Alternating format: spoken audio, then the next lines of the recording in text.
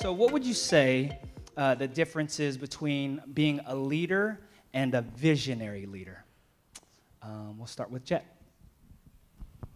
Oh, um, well, I identify myself as a visionary leader uh, because to me that is the ability in not just conceptualizing a unique idea, but also making sure that it happens. Because uh, I've realized some people just keep on dreaming and just keep on dreaming keep on dreaming and nothing's happening. So you, you, have to be able to navigate yourself as to how to make that happen. Um, being a leader could be so many things. Um, you could just be a follower and learn from that. Um, yeah, I think I, I'm, I'm more of a visionary leader. Um, being a visionary leader, I think, is you know it's a little bit about what I talked about on stage. It's it's about recognizing that you don't get anywhere alone, and that you have to take into account all of the moving parts that are part of achieving your vision. Be that people, be that circumstances, um, and and helping uplift everything around you so that it all fluidly moves to the top, right? Because I mean, if you're the only one satellite moving forward, I mean, it's not really a win, you know? So, uh, I would consider visionary leadership um, considering the future beyond when your leadership changes hands to someone before you and making it easier for, for them to succeed as a leader. Uh, for me, I think visionary leadership is it's about realizing the butterfly effect of what your actions are and then working within uh, collaboration of the people that you do physically lead and knowing how your actions lead into their actions lead into the greater cultural effect. So i mean it's i don't think it's too cliche to say that doing things for the culture is meaningful especially in 2018 but uh, i think uh, visionary leadership is about what uh, what your immediate action uh, resonates in beyond yourself and your team All right, so there are a lot of young people in the audience and have visions to become a leader of some sort, or they might currently be a leader, but um, you know, just as how you guys represented up here as visionary leaders, they aspire. I know some of them aspire to do just that. What would you say, because this is an event, they feel inspired, what would you say are a couple of steps they can do immediately right after this event? Um, let's start with Norman. I mean, immediately after the event, we're going to have dinner, so you're going to want to eat. Uh, don't eat too much. But no, uh, I think uh, uh, as when I finished my um, uh, my my presentation, I noted that uh, if- if you're if you want to feel like you're a part of something, um, start with being a part of the Filipino culture because we have so much in common. We all love Philippines and the food and everything like that. So um, just start by connecting deeply with the people in, in this community. And from there, you'll learn to develop those relationships. And then we could then, outside of this group, take over the world uh, as leaders, right? Quietly, I hope. Sarah. Um, man, I so I'm the type of person that needs to get into the zone, and when I'm there, I sort of like freestyle. Right? I think the most important tool that anybody could have is a pen and paper, and uh, just dream and dream big. And when when you are in a place where you feel like I got this, I can do this, go out there, create a vision for yourself, and then, like I said earlier, sort of create the game plan on how you want to get there. There's so many different methods on how to execute a vision, um, be it by three months at a time.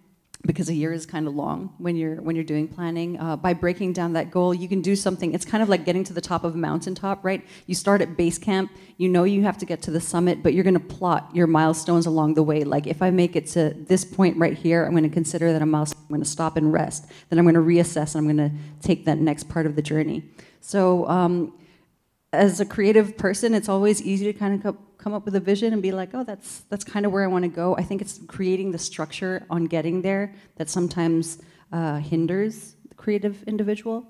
Yeah, so I, I would suggest going and doing that. Dreaming big, like I said, Henry David Thoreau, paint your castles in the sky and then go build foundation under. Rich. Um, I, I think that something from a from a completely practical standpoint. It's time management and like knowing how to work with your time and and maximize your time. And uh, even to this day, like I'm, I'm an exceptionally busy individual, but I, I I still freelance to do work for myself. Like even before here, I was um, for work. I was cranking out logos, creating like branding decks, and like emailing them right before I got on the train to go here. But uh, for some really interesting projects down the road. But uh, it's um, it's about knowing how to maximize your time and still live your life.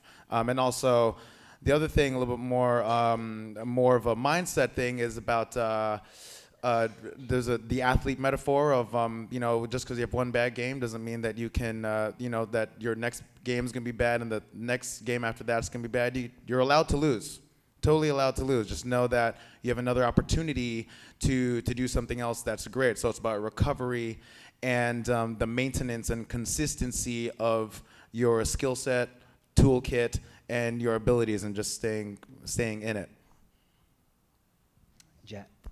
Yeah, there will be a lot of doors will be shut in your face. Um, I, just moving forward. Uh, so for me personally, what I did because accounting wasn't really what I wanted to do. So if you're set with your degree, so I guess you have to talk to yourself: Is that really what you wanted to do? Unfortunately, in this climate, that they require double masters or doctorate degree. So is that for you?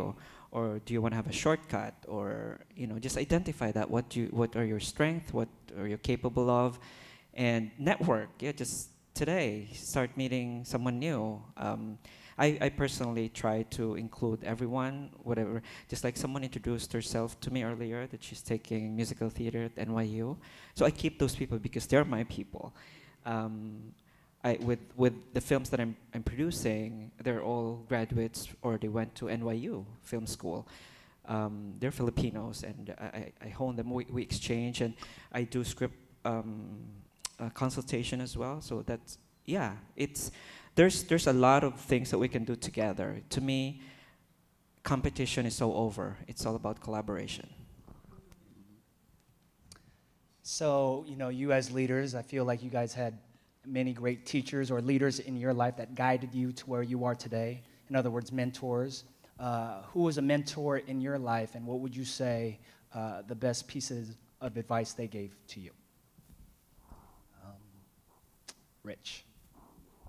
Um, mentor. Uh, I, I, think someone who was a really great mentor to me. Uh, I went to school. I got my graduate degree from School of Visual Arts. I got uh, a degree in, uh, I got a master's in illustration um, from SVA, and uh, the chairman of the program, his name is Marshall Arisman. You guys don't have to know who he is, but he's uh, an amazing illustrator, artist. His work uh, is very, uh, is very expressive. Like, and, and he's one of those dudes who he did the original cover to American Psycho. He also did um, a very classic cover for Time magazine with Darth Vader on the cover. If you ever watched the show Freaks and Geeks, and then the kid opens up his locker. There's a uh, painting of Darth Vader in there. That's that's Marshall, and uh, and he has a lot of kids in his children. He doesn't have any children himself, but his children are his students. And um, one of his uh, best pieces of advice was about um, about uh, he he knows how to he sees auras and he sees energy, and that's something I didn't necessarily realize. Uh, what that meant at the time, I don't think I was I was in the mindset to receive it, but I think now I fully understand what um, the movement of energy and and and uh, what what auras and the visibility of that is because your uh, the energy that you put out is the energy that you'll give back. And um, going to Jhett's point about collaboration, like you know, if you're a dickhead, people will be a dickhead to you. You know what I'm saying? So, and uh, and I've had those moments where like I'm a I'm a I can rage, but I've had other moments where like I'm real I truly try to, like you know, it's about love. So it's about giving love and withholding love, and that's my leadership style. So I like to, you know, when, when things are great, like give a lot of love. And things are not so good, you know, you have to withhold love, but with the knowledge that you will give love again. So um, that's kind of what Marshall taught me. Jhett. Oh, I don't want to be sounding self-serving, but with with my profession now, there's really not one person that I could say who was my mentor because everything I learned on my own um, uh, yeah, uh, you know, from from producing, or it just, I wish I have that someone, right, uh, that mentored me. Um, even in the Philippines, when I was with PhilPro, um, so I, I, my advocacy is education and performing arts. So PhilPro was having a difficult time tying me up with a mentor in the Philippines because like what I heard like oh who's gonna mentor Jhett he has three Tonys already you know things like that. Um, but yeah it's it's all about also yeah, I would say autodidact uh, learning on your own. It's not a bad thing. Um, I just prefer that. I would ask you know every now and then consultation from one person to another but uh, yeah I, I I'm just not afraid of anything I guess. I I I go to where braves never go. Sarah. Very similarly to Jhett, like when you asked the question, I was like, oh, that's a good question. Because I, it's one of my frustrations in life that I could never find anybody to be a mentor. And I sought one out. I mean, I really, I was so desperate for one. Um, so much so that I made it part of my life commitment to be a mentor to younger girls because it's, you know, be what you needed when you were younger. Um, but there were people in my life that influenced me in one way or another. My manager very early on taught me how to vision board. Um, I think I was maybe 15 or 16 years old, and he made me come up with my 15-year life plan. And I found that like Manila paper not so long ago, and I looked at it. I was like, "Oh snap! Everything came true, right?" So, so inculcating that in me was really powerful. Also, uh, Christopher Cerf, who had um, he was one of our, our uh, guidance sort of mentors at a program at Columbia Publishing course, um, and he was basically he's like you know pushing 85, I think, and I asked him sort of what he had learned back in his life, what he wished he knew as his younger self, and he said that you know he had born in, been born into a family.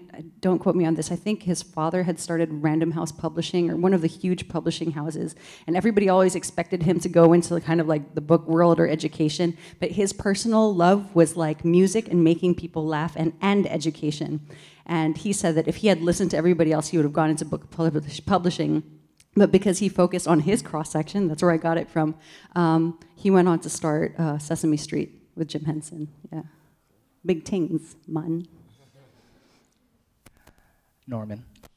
So I've, I've definitely had a, a prominent mentor in my career. I, I spoke of him a little bit, um, Jeff Moriarty. So a little bit on him. Um, he is now uh, an executive at Gatehouse Media, which owns something like 450 newspapers in the U.S. Um, so he's someone who I obviously now still uh, get advice from, um, and maybe future opportunities. Not sure, but uh, he gave me a very simple piece of advice, which I'll share now, and that is to stay on target. All right, so um, we know that you know having the mentor, we learn a lot. Uh, we learn different things through, through this mentor or in this self- self-taught journey, um, and just being around an environment like this, um, we know is inspiring, empowering. Um, so let's expand on why it's important for people to be in environments such as like a TFCU talk. Um, Jack. Well, to me, since I my my film uh, premiered at Cinematographo last uh, November, uh, it inspired me so much to to do more for the Philippines, and that's when that's why all my films now are connected with, with the Filipino writers, directors. Um, I I combine my connections with Hollywood, Broadway, and the Philippines. Because I want to do that collaboration, because we can do greater greater things together. Um, and yeah, and just like here, there's so many. My God, the future is here. Uh, the future artists, the future filmmakers, the, the, the future writers, um, the future lawyers are all here, and I want to be able to partake and inspire my visionary, um, share my visionary visionary leadership, and uh, hopefully they can they can take something out of it too. So, yeah, Rich, why do you think it's important for people to attend something like this? Um, I, I think that it's important for people to attend something like this because uh, it's it's you have you you get to see success or see what your personal uh, vision of success might be through someone who literally looks like you. It's as simple as that. Like even at MTV, I'm I'm to be completely honest, there are four Asian people on the entire channel that I see. Do you know what I mean? Every day, and I count it, and um, and you know that there's a scorecard with with us. So, uh, and and I think maybe 15, 20 plus years ago, there probably weren't a lot of heroes that I would have had that I could have pinpointed. Oh, that person looks like me, or that person thinks like me, or has my reference point. But now, um, because uh, you know we're uh, we are much more integrated, like we have more heroes. So I think it's very important to be more visible and to be in uh, to move the culture within ourselves and and push the culture out outside of ourselves. Norman.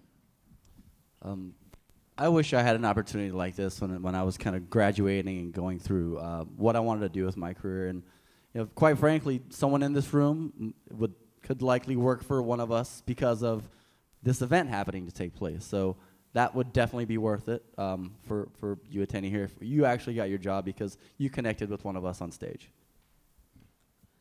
Um, yeah, I so I'm very concerned about the social media world in the sense that I think that what social media celebrates more often than not is a final product. You go on Instagram and you see, I mean, it could be like Rich's work, right? Where you see it and it's just an image and you just scroll past that like it's whatever.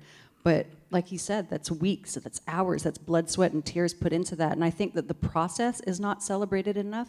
And to balance out your expectations and manage your expectations of what it's gonna take in life, you need to seek out places and spaces where you are exposed to what the process is like. That there are highs and there are lows, but you don't get to Rich Tu, uh, you know, doodling on your iPad, just giving it a go. Like that's that's years of sacrifice, you know.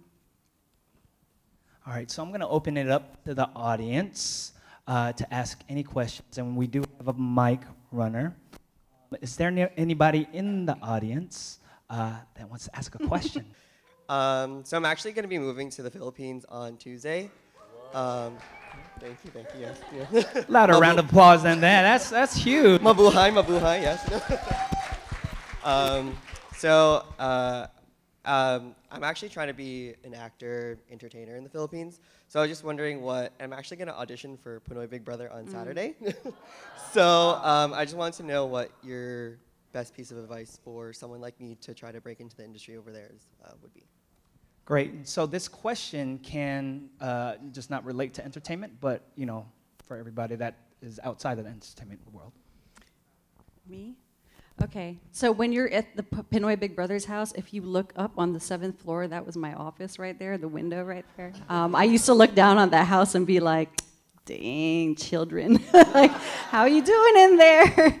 Um, oh, wow. Best piece of advice for making it in the Philippines. Um, and this this is, goes for anything, entertainment and otherwise. Uh, know who you are before you jump into the mix, because it's going to be so easy to want to adjust with every little bit of input that you get. Be like, oh, you should do more of this, or you should be more that, and it is so easily easily um, possible that you will get swayed and lose sight of yourself. So before you jump in there, know what you want to achieve.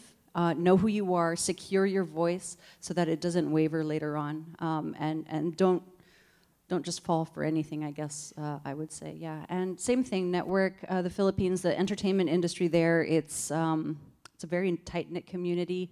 Again, some things that I've picked up from past TFCU talks, be it Rosalind or, or whoever was talking, it, it's really the relationships that you build. Um, yeah, so bank on that. And your good looks and your talent. Is this your first time there, or Uh, no, I actually travel to the Philippines every year since 2005. I was Okay. I was baptized there, um, confirmed there, and I actually speak Ilonggo. So Ilonggo? Oh my Yeah. God. Okay. taga Bacolod ako. ah, okay, great. We'll talk after this. Uh, um, well, y- I guess I wouldn't tell you how it is over there because you go uh, frequently enough. But uh, in the industry, you'll be bombarded with too much information. So you should have the ability to screen them. And uh, humility comes a long way. Okay, the pakisama, of course, with the right people. You know what you're not supposed to do and what you're supposed to do. Um, do you have a manager yet? um, so I'm linking up with a director, an indie director that my mom's suon. Okay, right. We'll talk later. Okay. okay. My only piece of advice is if you're gonna do reality TV, just throw, know how to throw a ton of shade. And I'm pretty uh, good at that. I can yeah, do that. Throw a ton of shade, and then just be soundbite master. Just be like, yo. if, if you know, if you can hit, if you can cut like a five, ten second promo, you know, ugh, gold. I, I can do that. All right. Thank you. Norman, go ahead and answer that if you feel Uh, called. just to say, uh, Yeah. set your expectations properly because reality TV, as Rich kind of just conveyed, um, you know, that's why you want the hits, but understand that what's coming out of that is, is not going to be, you know, Oscar level performance. So, it's a Oh, start. sorry, I have to inject this. Uh, the shelf life in the Philippines for newbies is six months, just so you know. So I, I just realized that every six months there's new artists, there's new, there's new everything. So you have to identify yourself as to again what you want to do, um, what's your purpose of going there, and where your where you want to c- take your career. Excellent. So my question is, uh, this this talk is about you know connecting, inspiring, and um, empowering young folks. So young folks are living in the current political and social state um, right now, and and my question is, how can your learned leadership skill set and your uh, your success and your influence uh, translate to the current socio-political uh, state to empower young folks uh, to be revolutionaries, not just in a prof- professional setting, but also in, in our fight for human rights and national sovereignty in the Philippines, in the country that we love so much, right? Um, so that is the question for, I guess, all of you. Thank you. Yeah, I can start. Um, so, so what I uh, started in the past two years is something called She Talks Asia. Um, it really started off of Twitter. I, I was celebrating my 20th anniversary in the industry, and I kind of asked Twitter what they thought I should do, come out with a book, a documentary, whatever. And somebody had said, "Oh, you did a talk at Ateneo once, and I missed it. Everybody said it was go- uh, good. Maybe you could do a talk again." And I was like, "I don't know that I really have much to offer at this point." I mean, today I kind of brought it, but like back then I, I was like, I don't know if I have anything to say. Um, I was like, but what I can do is I can create the platform, much like Romeo does here at TFCU. I was like, I can create the platform and invite people that I do know have something to say on stage. And so what we did was we had our first conference, which was called Every Girl Can, and then it, uh, you know, snowballed into this really huge thing. But what I learned at the first conference, we had uh, a panel that was called The Modern Filipina, and it was a discussion on how to uh, become more progressive, but at the same time honor our traditions. It was like, because it's like weird being Filipino, right? Because like you wanna um, pay homage to everything that you've known and, and you know, be the dalagang Filipina, but you also want to be out there in your pink pussy hat. You know what I mean? At the same time. So, uh, what I realized, so I had this panel and they were talking, and somebody in the audience, just like you, asked um, a senator on our panel how women in the Philippines were supposed to be empowered and feminists when our president, in her words, was a misogynist. Um, and the senator who has indirect ties to the president went on to defend him and say that, you know, it's the old boys club, mo. Um, to which the audience was like, what? Uh, but what I realized in that was not so much the conflict of that, that statement, but what happened after. Another panelist said, I'm sorry, um, I challenged that. And then she went on to say her piece, but when she said, I challenge that, the whole Filipino audience went, and I realized in that moment that we are some steps behind in the sense that we don't even understand what discourse is. And so I realized that part of my mission is now creating a spark of a conversation so people can have those talks. We don't have pundits in the Philippines that are like debating every angle on television, right? Um, so we needed to create an environment where it was okay to bring up topics that are a little contentious sometimes so that we can get to the healing process and figure out our proactive solutions. Yeah. Yeah, I'm more of a glass half full kind of guy. Um, so in, in this the, current situation, um, I, I I see the silver lining in that um, there's this concept of being woke that all of a sudden is is what everyone uh, desires to be and, and, and claims they are. So I, I feel like there's an uprising happening because of what we're facing and struggling with that will eventually uh, be really good for, for everybody because of the awareness that people now have to the effect of things like not voting or you know, not getting involved in, in legislation and policymaking. Um, for me, well, to, to speak specifically to your point, like, uh, like I, I started this podcast, right, called uh, First Generation Burden. and uh, I started it the day after Trump was elected because I just I started this rage podcast like I had to do a thing, but it wasn't specific about Filipinos. It was about um, about multiculturalism through the lens of creativity because that was the network I had, and it wasn't just about Filipinos. So I talked to just like how these discussions, uh, you know, uh, uh, from uh, friends that were from Lebanon, friends that were from Ireland, friends that were uh, from Puerto Rico, friends that were, you know, um, from all, all over. I just I just did six episodes. I did another six episodes. But what I'm getting at is that it was about communicating stories because it was through an immigrant lens, and that we all had similar thoughts and similar stories when it comes to either being um, the uh, generation after our parents first got here or having, having arrived here and having that experience ourselves. Um, and what are the touch points between myself or maybe my friend from India or my friend from Nigeria or something.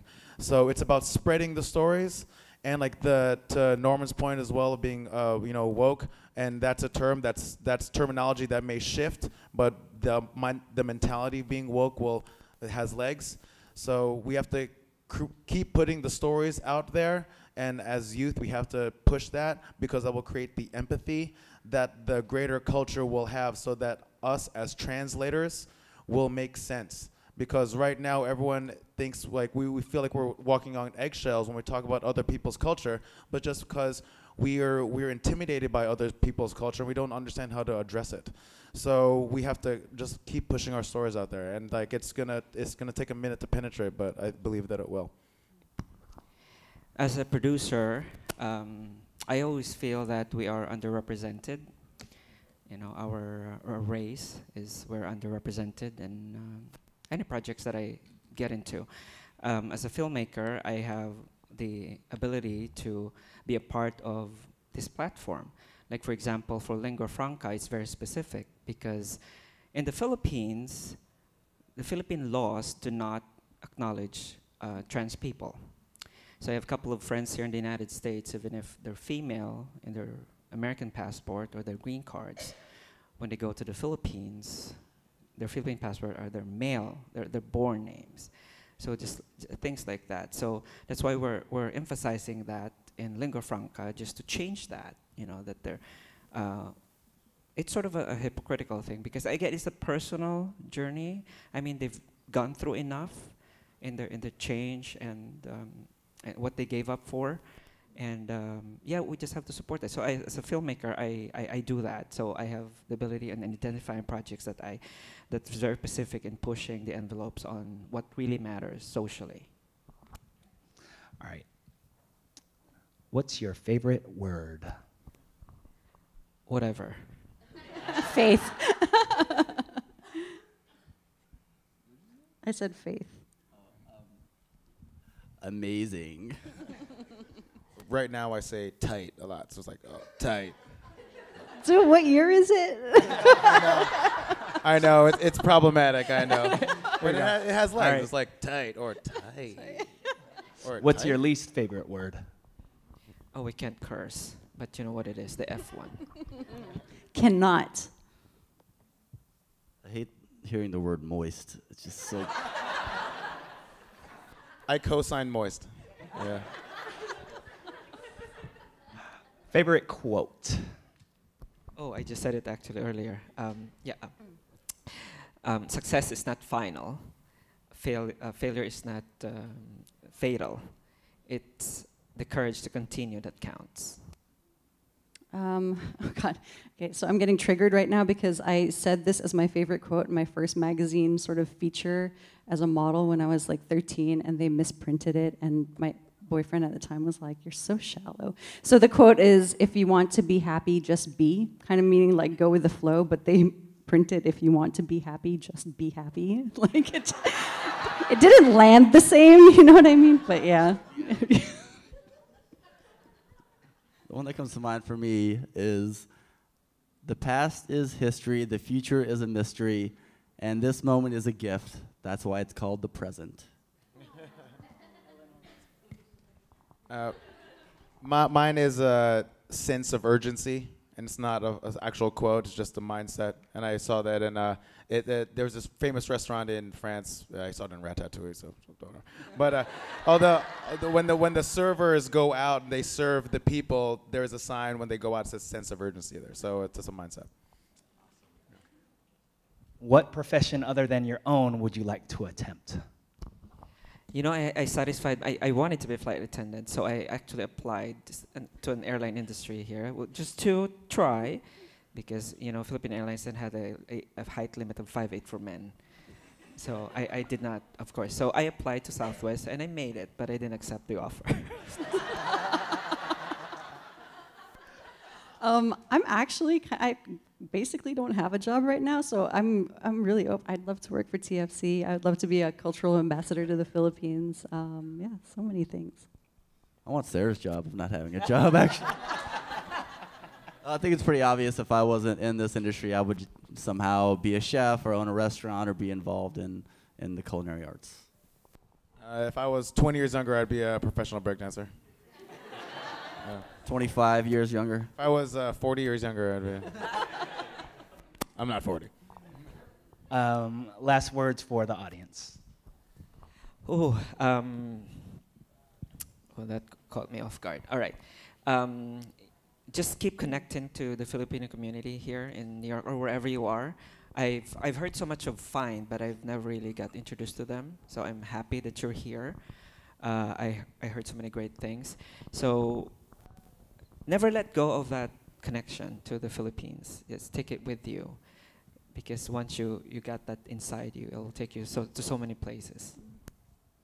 Yeah, bouncing off of that, like I mean, this is maybe not so much for the audience, but for the for the people sitting up here with me. I didn't realize, you know, like I said earlier, introverted. I don't like phone calls, and I don't. I, I'd never start conversations. I always have to be approached first, and I'm just so happy to meet these three. I mean, it's like three people under the Viacom family. We know common people. I actually wanted to tell you that um, when I had Imelda Marcos on my radio show, I had a cousin get the soundtrack from David Byrne, and I played it for her for the very first time on the radio show. I just did that to her too two weeks ago. So it's it's one of those crazy things like we are all connected. Do you know what I mean? And you just have to keep an open mind and keep your radar and your eyes open because your next opportunity may literally be sitting right next to you.